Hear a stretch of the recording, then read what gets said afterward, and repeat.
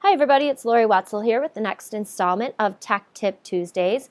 And this week's tech tip is going to focus on an iPad app called ScreenChomp. And it's an app that will allow you and your students to create screencasts. Before I get into the details, I am right now on the Tech Tip Tuesdays website. I'm in the iPad apps area where you'll find the link to this tech tip as soon as I'm done recording it.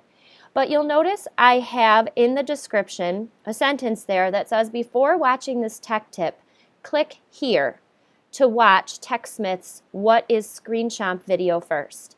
If you haven't already done that, I would highly recommend that you do. This is a link to a YouTube video that was created by TechSmith, who are the makers of ScreenChomp, and it's a really good overview of what ScreenChomp does and what possibilities it has for the curriculum. Once you've watched this, now it's time to take a look at the details of how it works. I'm going to go ahead and search for ScreenChomp. You're looking for the little greenish yellow guy, and I'm going to go ahead and tap on it and get started. And ScreenChomp um, is a pretty easy interface. This very first icon on the bottom is your backgrounds icon, choosing from a photo library that you have on your iPad. You also have the ability to choose from Dropbox if you have any, any images or photos saved in your Dropbox. You can take a photo directly with your iPad and use that as your background. Or if you've put a background on there that isn't going to work for you, you can remove it. So giving an example, I'm going to choose from my library and I'm going to choose this coordinate grid right here. And this is just an image I grabbed from the internet and you can do that easily by going to the internet clicking and holding down on an image and saying adding it to your camera roll.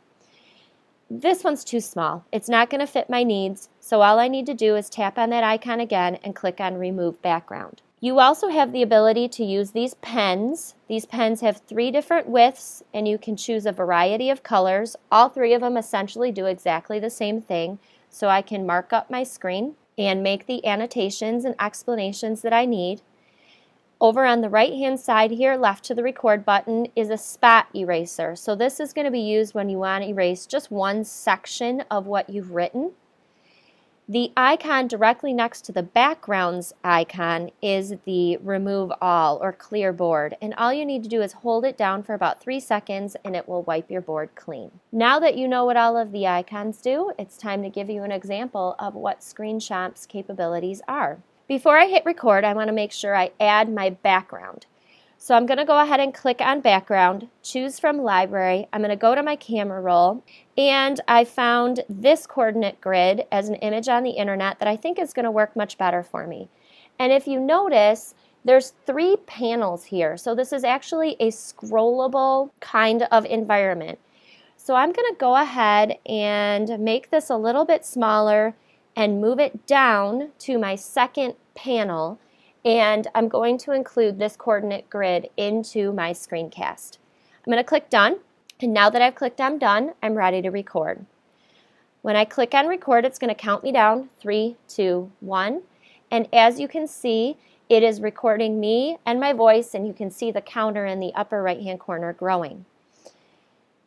Let's pretend that I am a math teacher and I'm trying to teach the students about graphing lines in slope-intercept form. So I come up with an equation y equals 2x plus 1. And I'm going to explain to the students exactly how I would go about graphing this. This is why I put the coordinate grid on the second portion of my screen because I want to have enough room to work and write and then I can just scroll with two fingers and continue my screencast from there. I'm going to go ahead and start explaining my, my thought process. With the students, we've talked about the fact that this 1 is my b value and it's my y-intercept. The 2 is my m value and it is my slope. So if I'm going to graph this line, I'm going to graph a line with a y-intercept of 1 and a slope of 2. And a slope of 2 would be written as 2 over 1, interpreted as rise over 1, so 2 up and 1 to the right. I would, of course, do a much better job explaining this with the students.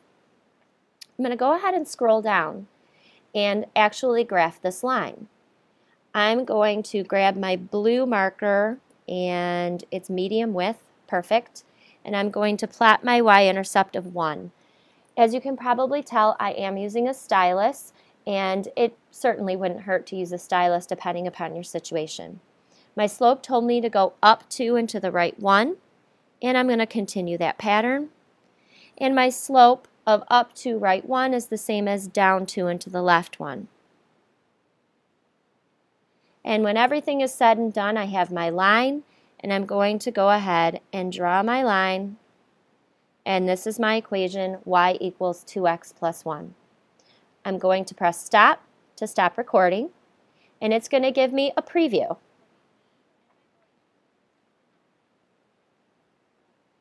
If you didn't like this ScreenChomp, you can click on the trash can and hold it down and it will delete your ScreenChomp completely. I'm going to go ahead and keep it. I'm going to click on share. It is sending right now and it is creating my file. Now the nice thing about ScreenChomp is it actually creates the video right on their server. When I click on the icon directly next to the little ScreenChomp guy, it tells me that the cloud is preparing my video to share. In working with the students, think about how you could use this to have students actually creating tutorials for other kids. Khan Academy is essentially a collection of tutorials. Why not have the students creating tutorials and creating your own Khan Academy collection? And why don't I go and look at one that has already been created. You're going to look down here in the bottom middle and you have the share button so you can copy the link and then paste this link into your email or onto your website or whatever. You have the ability to email the link directly to your students and you have the ability to tweet the link. Hopefully this gives you a really good overview of what ScreenChomp can do and it's something hopefully that you'll be able to use in your classroom with your students. If you have any questions, you know where to find me. Have a great day.